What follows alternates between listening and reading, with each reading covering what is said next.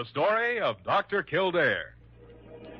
Whatsoever house I enter, there will I go for the benefit of the sick.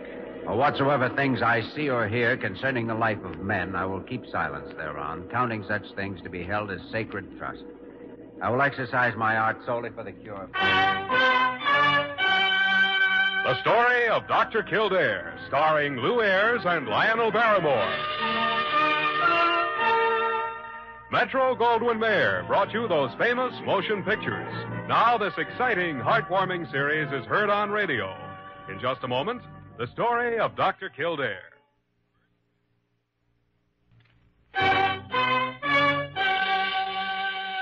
Now, the story of Dr. Kildare, starring Lew Ayres as Dr. Kildare and Lionel Barrymore as Dr. Gillespie. Blair General Hospital, one of the great citadels of American medicine. A clump of gray white buildings planted deep in the heart of New York, the nerve center of medical progress, where great minds and skilled hands wage man's everlasting battle against death and disease. Blair General Hospital, where life begins, where life ends, where life goes on.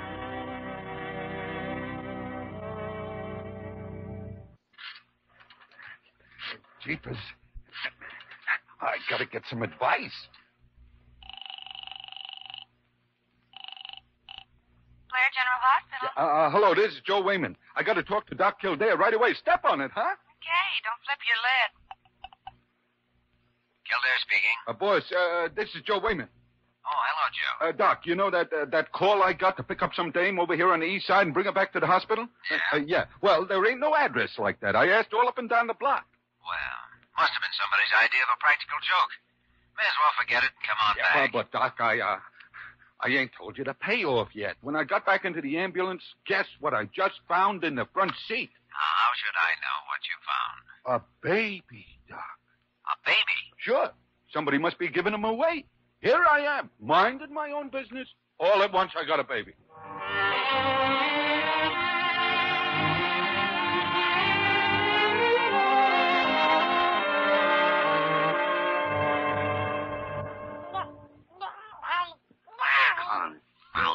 Child's wrapped up like a mummy. Here, Parker, Parker. See if you can get him out of this thing. All right, Dr. Gillespie. Here now. Everything's going to be all right.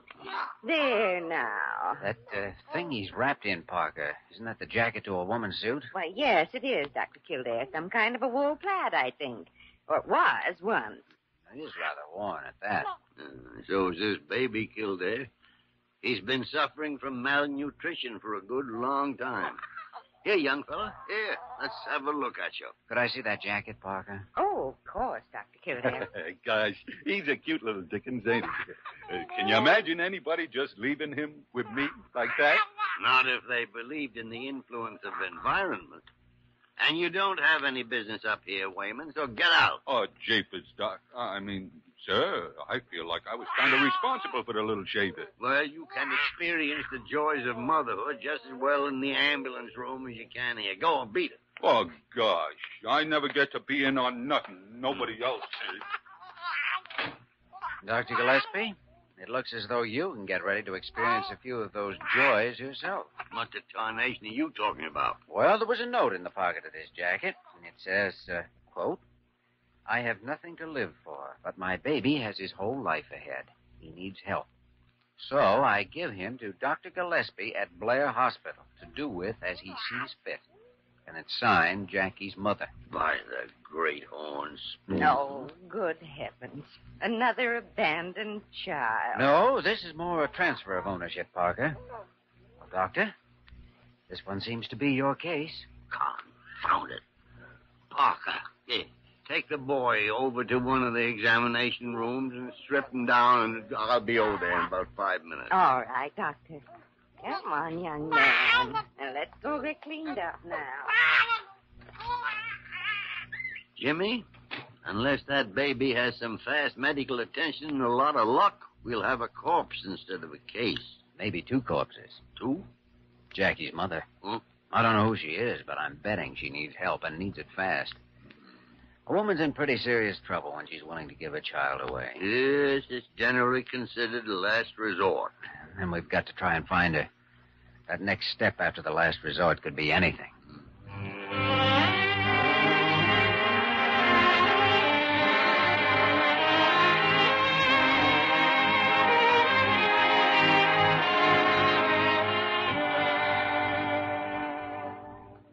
Hello, Wayman. Yeah.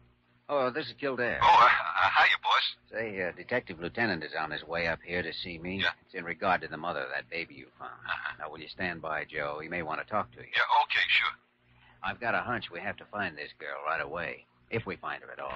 Yeah? Oh, just a second, Joe. You're right. Yes, Parker, what is it? Uh, Lieutenant Dan Riley from precinct headquarters is here to see you. Oh, fine. Send him in. He's here now, Joe. See you later. Yeah, okay, boss. Come on in, Lieutenant. Thanks. Sit down. Got here in a hurry. Yeah. I understood somebody over here was burning up to have this girl found. You, by any chance? That's right. Why? How come you're so worked up about it? Well, I, I think a girl who's forced to abandon her child needs help, that's all. Can't help her unless I find her. It's simple enough, isn't it? Yeah, when you say it real fast. That uh, jacket there the kid was wrapped in? Yes. Well, that's our best bet, but the odds are long. Exactly where was it your driver left his ambulance parked?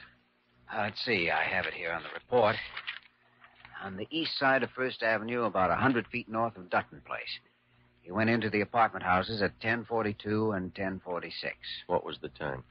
The call came in here at uh, 624. Joe got there at 645 and was away from the ambulance for about uh, 10 minutes. Well, I'll see what I can do, Kildare. Looks like a matter of trying to match the suit material. Somebody may recognize it, and the girl may still be wearing the skirt. Do you know that neighborhood? I know it. Bunch of flop houses, honky tonks, clip joints, typical skid row. Mostly floaters and down and outers. Yeah, I know it all right. Well, don't count on anything, Kildare. All right, I won't. We can't both be over enthusiastic. Okay. So you're all fired up to do a good deed. Suppose we do find her and give the kid back to her. She had some reason to dump him in the first place, and she'll do the same thing again. Only the next time, she'll make sure of it, and we'll probably fish him out of the river. So, what's the percentage? Pretty low.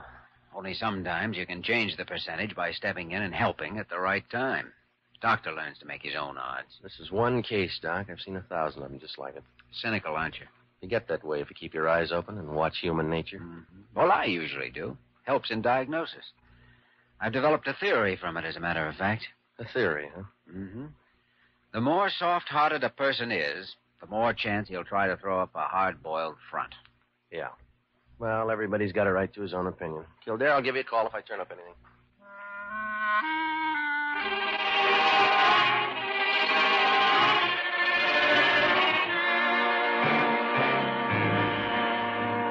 I don't know, Jimmy. Right now, it's a toss-up. I'm going to keep him under oxygen tonight. We'll try to keep his lungs clear, but well, I don't know. Talk about percentages. Now it's bronchial pneumonia. On top of anemia, malnutrition, a deficiency of every vitamin from A to Z. Yes, and abandoned besides. Oh, I just can't understand how any mother could do such a thing. Parker, the limitations of your intellect are quite well known already. Well, I like that. He's got to find that girl. And suppose he does. Maybe all we can tell her is that her baby just died. Yes, there's a chance of that. Dr. Kildare speaking. Lieutenant Riley, I picked up the girl's trail, Kildare. Thought maybe you might like to come over and string along with me. Where are you? A farmhouse called Hogan's Rooms. It's on first, just below Delaney. I'll be in room 38. Come on up. Be there in ten minutes.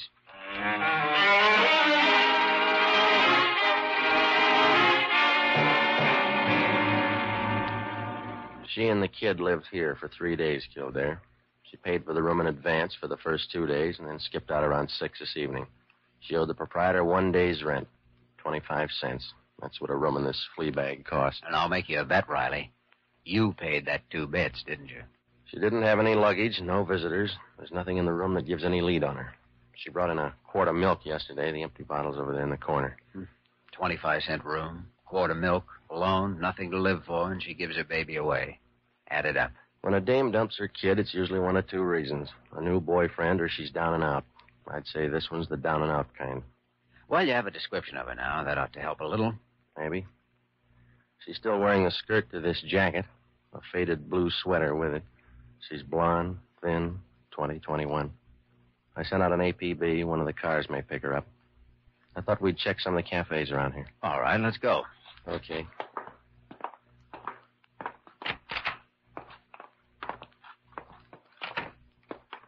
Oh, by the way, she was registered as Eleanor Mason. From where? From nowhere. Around here, nobody cares. Look, Riley, suppose we get something straight right now. All right, shoot. You wanted me to see this place for one reason. Because you think I'm a hothouse boy living in a plush and chrome office up at Blair Hospital without ever realizing just how rough life can get. Well, do you? Riley, I worked in a clinic less than six blocks from here while I was interning, and at one time or another, I've been inside all these tenements and flop houses. I've treated hundreds of these people suicides, alcoholics, dope fiends. I know what they're up against and what you're up against. There are no arguments on that score. All right. But here's the difference between us. You think the problem's too big for any one person to tackle, and I think the only way we can ever hope to whip it is to keep on trying. That's why I'm on the staff at Blair instead of running a, a gold plated pill factory of my own somewhere up on Park Avenue. Okay, Kildare, sorry. The guy can be wrong, you know. Yeah, yeah, that's right. A guy can be wrong. All right, let's check those cafes.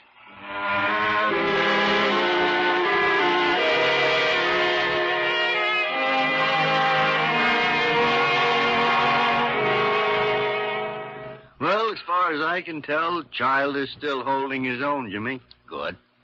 I don't really expect a crisis before tomorrow night. We're doing everything we can, but he simply doesn't have any reserve strength to fall back on. So, well, I don't know. Incidentally, his last name is Mason. We found out that much at least. Yeah, but you, you didn't find his mother. No. No, we traced her as far as a cafe on 10th Street where she had a cup of coffee a couple of hours ago. Cashier remembered her because she had just four cents. The coffee was a nickel. Then she's flat broke. And she can't travel very far on foot. As far as eternity, if that's what she has in mind. well, she's desperate enough. That's what Riley thinks. I left him over there a while ago, still at it. He's a good man. It's too bad he's got that cynical attitude. Well, with him working the district and the whole police force alerted, there's still a chance, Jimmy. There's got to be a chance. You know, it's funny. I've never seen this girl, and yet all at once she's the most important thing in the world. Kildare speaking. Lieutenant Riley. Look, Kildare, I'm at Pier 21 East River. You better get over here. What's happened? We just pulled the Mason girl out of the river. I'd say the odds give her about 15 minutes to live. I thought I told you the one about a doctor making his own odds. I'll be there. Hang on.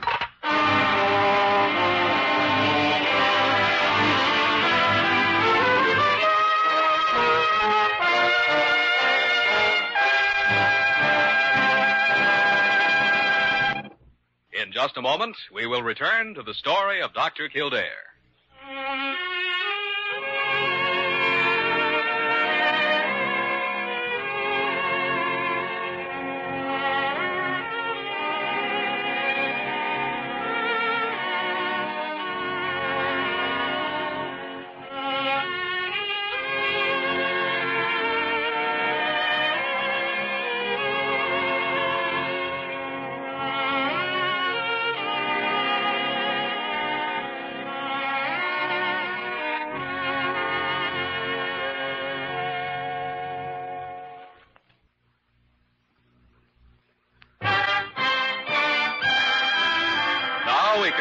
The story of Dr. Kildare, starring Lew Ayres as Dr. Kildare and Lionel Barrymore as Dr. Gillespie.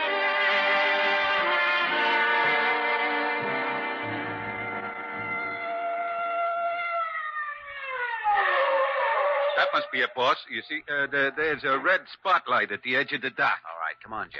Here. Bring my kit, will you? Yeah, okay, Doc. They, they uh, must have picked her up in one of the police boats. Yeah. Uh, watch the planks Uh, there. yeah, yeah, sure. Over here, Kildare. She's still alive? How do I know? You're the doctor. All right, let's have a look. No, no, no. Keep feeding her oxygen. Well, what do you think? There's still a chance. Heart stimulant may help. Joe, hand me that kit. Yeah, will you? okay, Doc. We got most of the water out before we gave her the oxygen. Here. Hold this, Joe. Where'd you jump from? Bridge over there. Patrolman saw her and called the river patrol.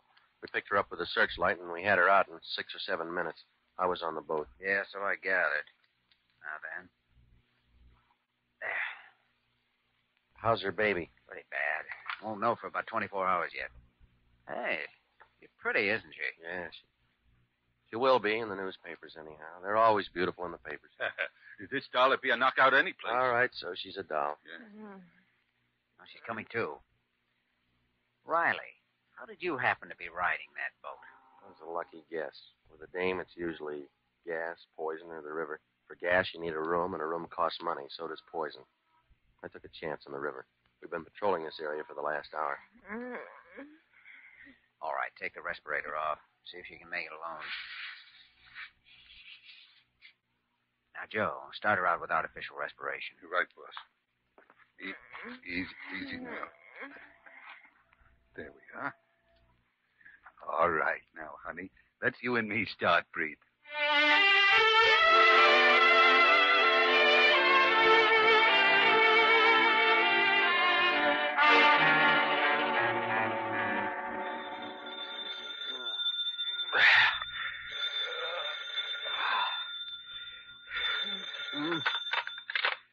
Hello. Speaking. Good morning, Kildare. Lieutenant Riley. Morning. Hey, what time is it anyway? Six o'clock. How's that Mason girl getting along? Ah, how do I know? You just woke me up. I'm not on 24-hour duty around here, you know. Yeah. Well, I gotta fill out my report, and I was just wondering if I could come up there and see her. It's six o'clock in the morning. Riley, go back to bed and get some more sleep. I'll call you when she's able to talk, and that'll probably be noon or after, okay? Well, as long as you make it as soon as possible, because Sure, I know, I know. You've got to fill out a report. So long, Riley. Well.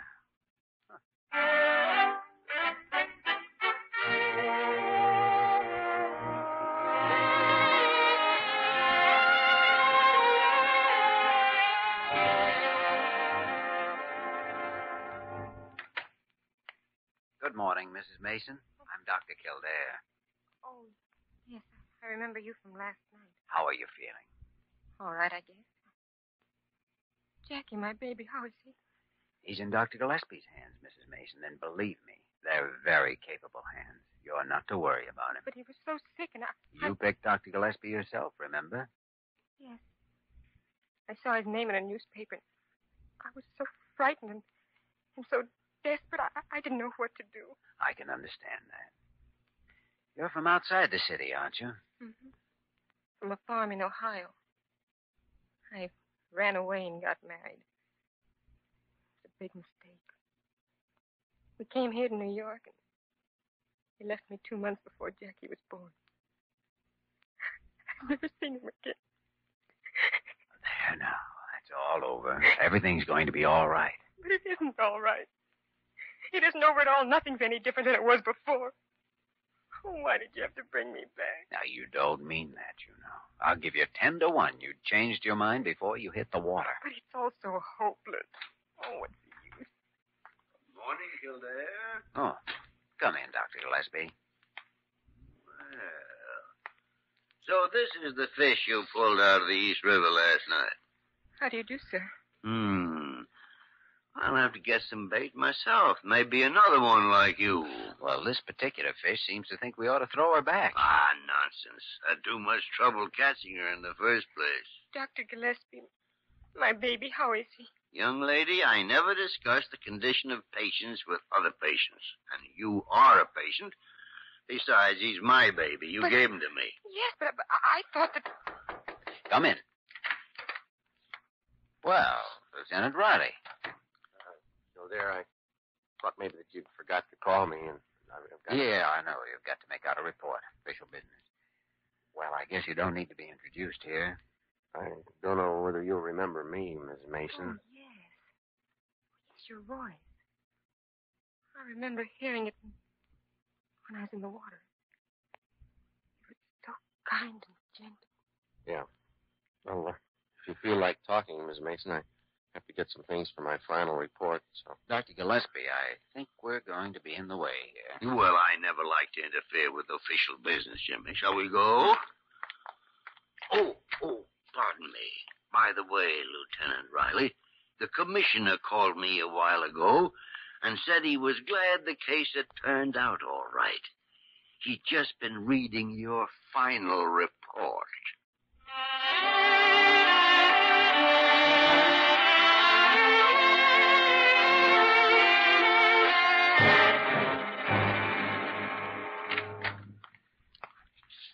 Dr. Gillespie, it's after midnight.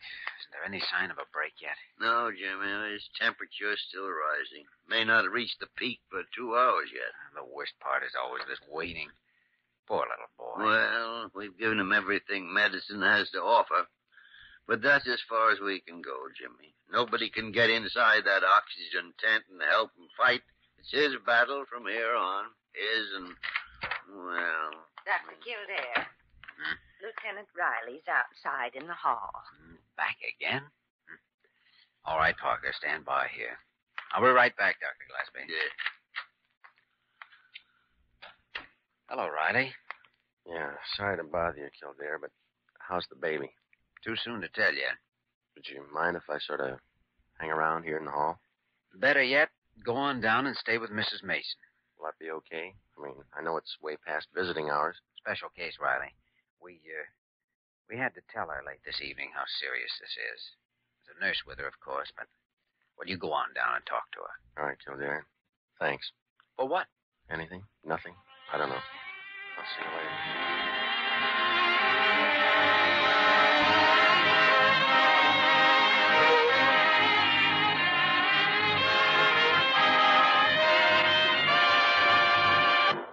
You, Dr. Kildare. Thank you.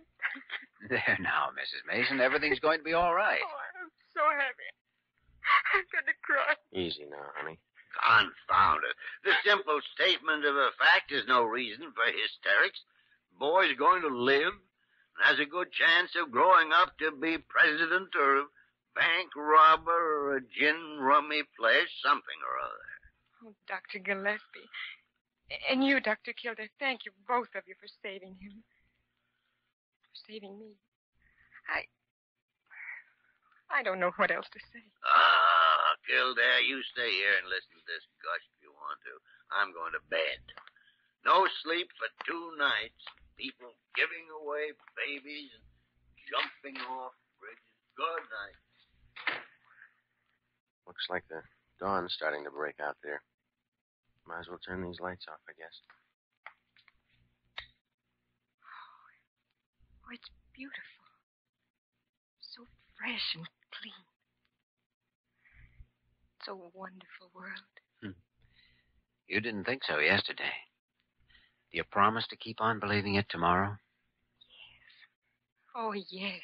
Don't worry, Kildare. I kind of think she will. I want to know something, Riley? I kind of think you will, too. Tough guy.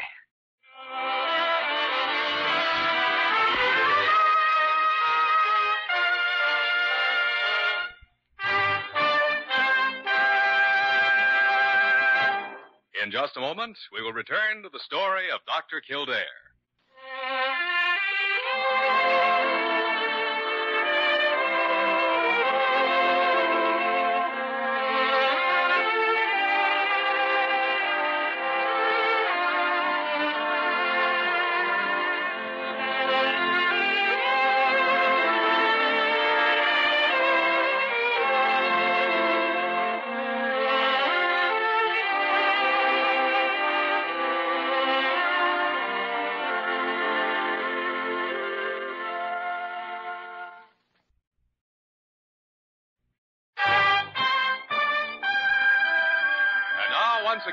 The story of Dr. Kildare, starring Lew Ayres as Dr. Kildare and Lionel Barrymore as Dr. Gillespie.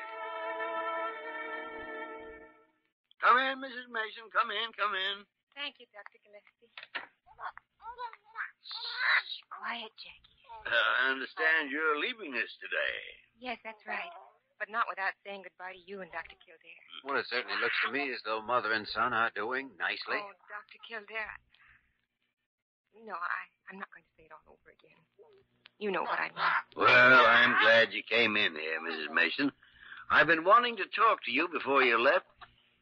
I know you don't have any place to stay, so I thought we Oh, might arrange. Thank you, Dr. Gillespie, but, well, Lieutenant Riley has already taken care of that. I'm going to stay with his sister and her husband for a while. Mm, well, well, about money. Well, Money? Lieutenant Riley's already loaned me some money. Enough to last until I start working. Working? Now, there might be just a chance of a job here at the hospital if you. Dr. Gillespie, I understand Lieutenant Riley has already arranged for a stenographic position at precinct headquarters. Yes, that's right, Dr. Kildare. Well, confound it, I suppose you two are going to get married then. Yes. Well, not right away, of course, but, That then may I buy you a silver tea service?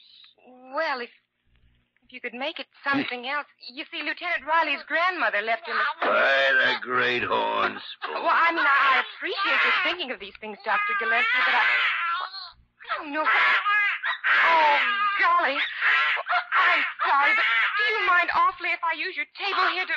Go right ahead, Mrs. Mason. As a matter of fact, I'm overjoyed to find one thing that Lieutenant Riley hadn't thought of already.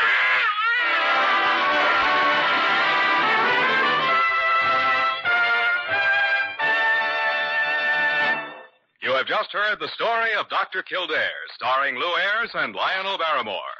This program was written by Les Crutchfield and directed by William P. Rousseau. Original music was composed and conducted by Walter Schumann.